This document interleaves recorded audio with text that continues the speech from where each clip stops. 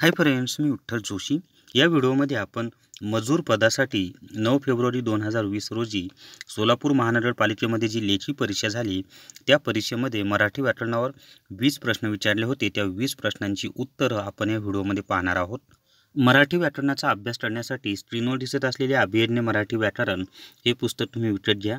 या पेपरमधील वीसला वीस प्रश्न या पुस्तकामधूनच आलेले आहेत आणि हे पुस्तक विकत घ्यायचं असेल तर अठ्ठ्याऐंशी शून्य सहा शून्य सहा शहाऐंशी अठरा या माझ्या व्हॉट्सअप नंबरवर मला मेसेज करा तुम्हाला घरपोचे पुस्तक मिळून जाईल. चला तर मग आता या व्हिडिओमधील प्रश्नांची माहिती पाहूयात आपण.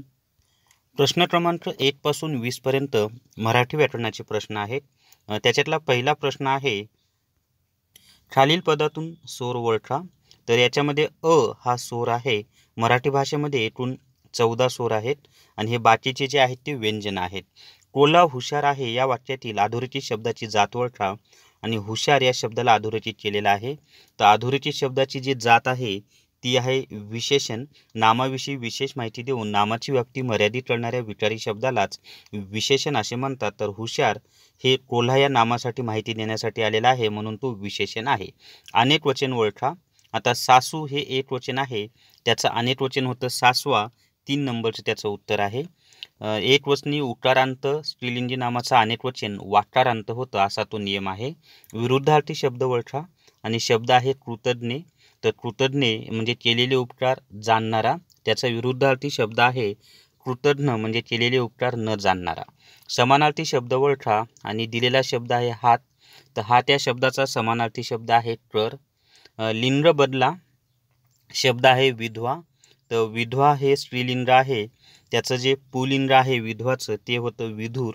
इथं त्यांनी दवतीचं द दिलं आहे ॲक्च्युली ते विधूर असं पाहिजे. तर विधवाचं विधूर होतं. सातवा प्रश्न आहे पुढील शब्दाचे लिंग ओळखा आणि शब्द दिलेला आहे भाटी. तर भाटी या शब्दाचं लिंग स्त्रीलिंग आहे. त्यानंतर शरदचे अक्षर सुंदर आहे विशेषण ओळखा त्याच्यामध्ये आपल्याला विशेषण आहे सुंदर हे विशेषण आहे. कारण सुंदर हा शब्द अक्षर या नामाविषयी विशेष माहिती सांगतो. म्हणून सुंदर हे विशेषण आहे आणि ते गुण विशेषण आहे. संगीता गावाला गेली होती टाळ ओळखा तर या ठिकाणी गेली होती या वाक्याचा जो टाळ आहे तो आहे भूतकाळ त्यानंतरचा प्रश्न आहे बालकवी हे कोणाचे टोपण नाव आहे? तर बालकवी हे त्रेंबट बापूजी ठोंबरे यांचं टोपण नाव आहे. चार नंबरचं उत्तर आहे. गीता रहस्य हे पुस्तक कोणी लिहिले? तर गीता रहस्य हे पुस्तक लोकमान्य बालगंगाधर टिळक यांनी लिहिलेले आहे. त्यानंतरचे नऊ प्रश्न पाहूयात आपण आता. बारा नंबरचा प्रश्न आहे दिलेल्या शब्दसमूहाबद्दल योग्य शब्द निवडा आणि जाणून घेण्याची इच्छा असणारा तर जाणून घेण्याची इच्छा असणारा जो असतो त्यालाच आपण जिज्ञासू असं म्हणतो. म्हणजे कोणतीही वस्तू त्यांना जाणून घेण्याची एक उत्सुकता असते. आजी या शब्दाचा समानार्थी शब्द ओळखा तर आजी या शब्दाचा समानार्थी शब्द विद्यमान हा आहे. आपण आजी नजर आजी नगरसेवक किंवा आजी आमदार असं म्हणतो.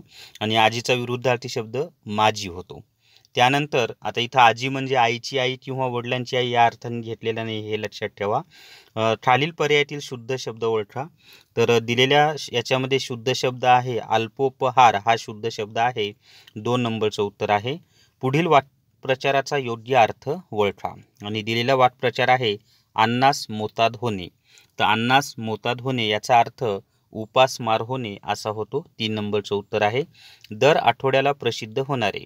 तर दर आठवड्याला जे प्रसिद्ध होतं त्यालाच आपण साप्ताहिक असं म्हणतो. दररोज जे प्रसिद्ध होतं त्याला दैनिक म्हणतात. आठवड्याला प्रसिद्ध होतं त्याला साप्ताहिक म्हणतात. पंधरा दिवसांना प्रसिद्ध होतं त्याला पाक्षिक म्हणतात. आणि दर महिन्याला प्रसिद्ध होतं त्याला मासिक असे म्हणतात. सतरा नंबरचा प्रश्न आहे चुकीची जोडी कोणती? आणि आपल्याला केळे एकवचन हे बरोबर आहे कारण केळेचं अनेकवचन केळी होतं. खेडे अनेकवचन हे चुकीचं आहे कारण खेडे एक वचन आहे आणि त्याचं अनेकवचन खेडी होतं.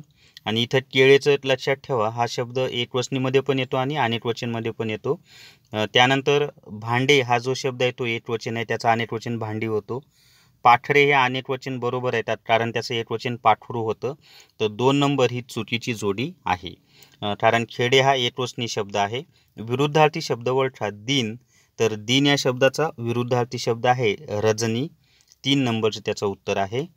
त्यानंतर एकोणीस नंबरचा प्रश्न आहे देव नाही असे मानणारा. तर देव नाही असे मानणारा जो असतो त्याला आपण नास्तिक असं म्हणतो. आणि विसावा शेवटचा प्रश्न खालीलपैकी स्त्रीलिंगी शब्द कोणता? आता स्त्रीलिंगी शब्द कसा ओळखायचा? तर ज्या एकवसनी नामाच्या अगोदर ती हा ती हे सर्वनाम लावता येतं ते नाम स्त्रीलिंगी असतं. मग तो नेता हे पुलिंग आहे ती देवता म्हणजे दोन नंबरचं त्याचं उत्तर आहे. त्यानंतर तो भ्राता तो पिता हे पुलिंगी आहे. तर ती देवता म्हणजे दोन नंबरचे त्याचं उत्तर आहे. तर या व्हिडिओमध्ये आपण मराठी व्याकरणाचे वीस प्रश्न पाहिलेले आहेत. हा व्हिडिओ तुमच्या मित्रांसोबत इतर व्हॉट्सअप ग्रुपवर आणि टेलिग्राम चॅनलवर जास्तीत जास्त शेअर करा आणि विठ्ठल जोशी माझा चॅनल सबस्क्राईब करा. Thank you very much